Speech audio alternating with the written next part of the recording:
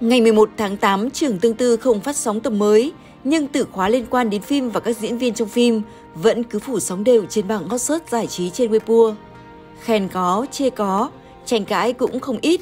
Tuy nhiên, sự kiện đàn kiện thứ livestream thu hút được nhiều sự quan tâm của khán giả hơn cả, đặc biệt là người hâm mộ nhân vật Tương Liễu.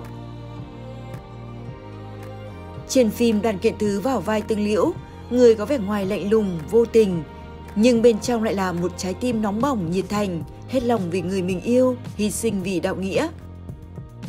Tuy nhiên tại sự kiện livestream chiều nay, sáng vẻ ngượng ngùng xấu hổ của đàn kiện thứ khi bị fan trêu khiến nhiều người đùa rằng kiểu mệnh tương liễu lạnh lùng vô tình của họ đâu rồi. Cụ thể khi trổ tài bắn tên trên sân khấu, một số fan nữ đã hô lên rằng hãy bắn vào em, ông xã đừng xấu hổ. Đàn kiện thứ đã không nhịn được cười và phải chỉnh cung vài lần mới bắn được.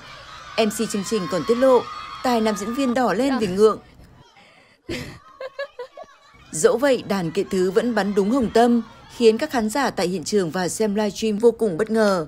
Theo chia sẻ của đàn kiện thứ, anh đã đi học bắn cung trước khi trường tương tư khởi quay. Cũng tại sự kiện, đàn kiện thứ tiết lộ, anh từng muốn tự mình thể hiện cảnh tương liễu trong hình dạng nữ nhân đi thuyền cùng tiểu yêu.